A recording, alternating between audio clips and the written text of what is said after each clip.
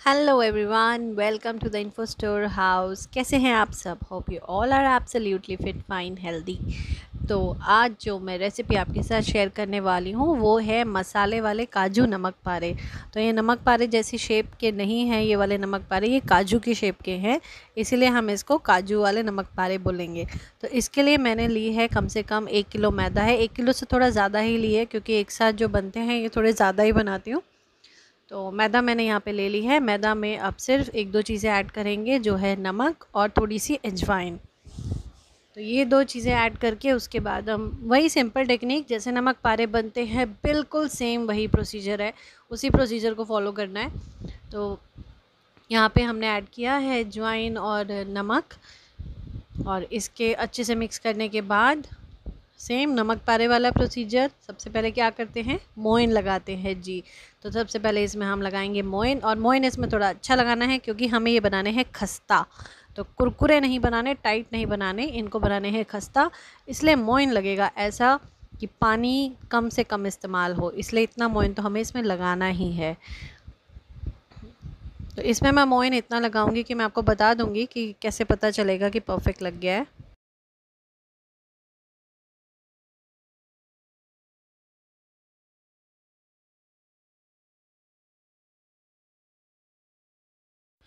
तो मोइन अच्छे से लगा है या नहीं? इसमें जो घी हमने ऐड किया है, वो प्रॉपर है या नहीं? तो इसकी पहचान ये है कि जब हम इसकी मुट्ठी बंद करेंगे ना तो ये हाथ लगाते ही बिखरेगा नहीं। तो देखिए, हाथ लगाते ऐसे नहीं बिखरेगा।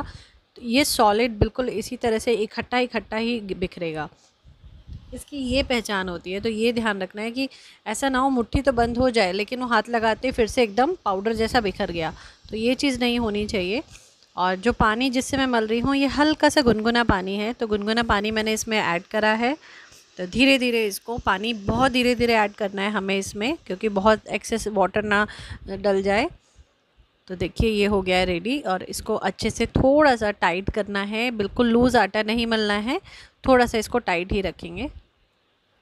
और जब ये अच्छे से मल जाएगा, अच्छे से गुज जाएगा तो इसको हम गीले कपड़े से ढक के रख देंगे। थोड़ी देर के लिए इसको रेस्ट देंगे, कम से कम पंद्रह से बीस मिनट। बहुत ज़्यादा रेस्ट नहीं देना है, पंद्रह से बीस मिनट काफ़ी है। तो देखिए, ये बिल्कुल रेडी हो गया है। अब इसको रेस्ट दे देंगे हम।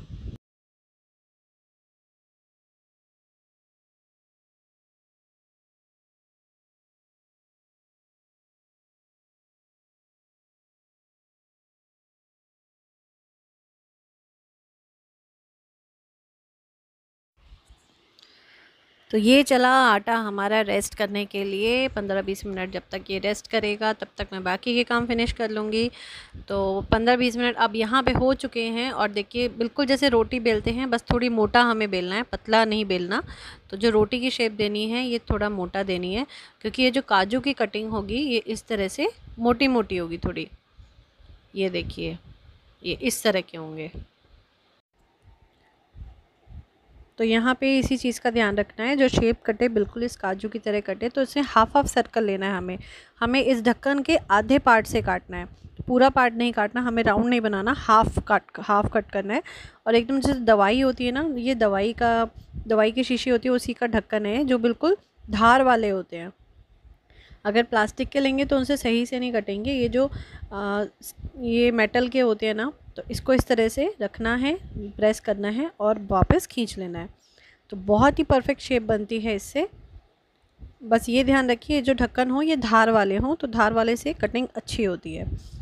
तो बस ऐसे ही हम इसको कट करते चले जाएँगे हमारे काजू हो जाएँगे बिल्कुल तैयार तलने के लिए।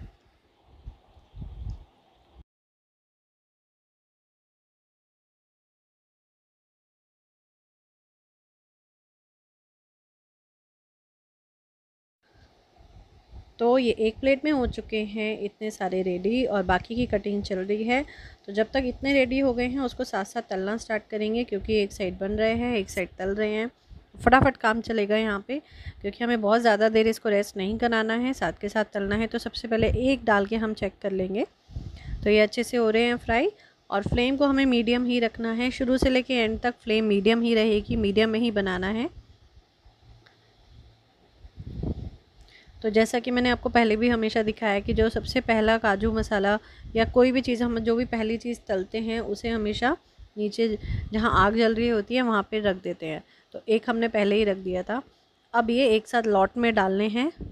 तो एक साथ लॉट में डालने से क्या होगा कि तेल का जो टेम्परेचर है, वो मेंटेन हो जाएगा और इसको इस तरह से चलाते रहेंगे। अगर ऑयल ज़्यादा गर्म है तो लगातार चलाते चलाते बनाएँ ताकि ये चारों तरफ़ से अच्छे से सिक जाए।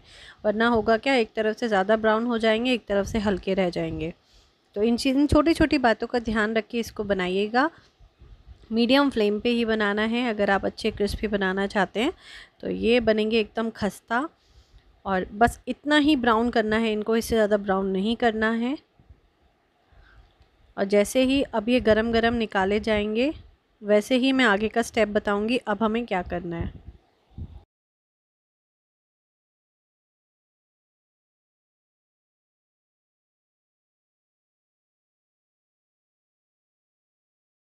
तो यहाँ पर हमने एक कटोरे में इसको निकाल लिया है। अब इसमें ऐड करेंगे मसाला और ये मसाले में क्या क्या है मैं आपको बता देती हूँ। इसमें है आमचूर, एक चम्मच आमचूर, आधी चम्मच काले मिर्च और एक चम्मच काला नमक। तो ये तीन चीज़ें हैं, इसमें इन तीनों का मिक्सचर हम इसमें ऐड करेंगे।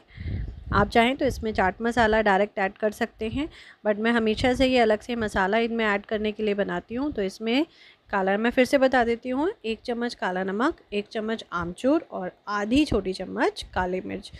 मिर्च आप अपने अकॉर्डिंग ऐड करिए, जैसे भी आप पसंद करते हैं। ज़्यादा तीखा पसंद करते हैं तो काली मिर्च को ज़्यादा ऐड कर सकते हैं। तो जब हम मसाले गरम में ही ऐड करने हैं, ये बात ध्यान रखिएगा, मसाले ठंडे में ऐड नहीं होंगे। गरम में ऐड करेंगे, अच्छे से उस पर चिपक जाएँगे मसाले सारे काजुओं पे। तो ये मसाला ऐड करके रेडी हो चुका है। और एक तरफ़ कंटिन्यू फ्राई हो रहा है, एक तरफ़ मसाला ऐड करने के लिए रखा है, एक मसाले ऐड हो चुका है। तो मैं इसी में बाकी भी डाल दूँगी और इसी में बाकी सारे मसाले ऐड करती जाऊँगी साथ साथ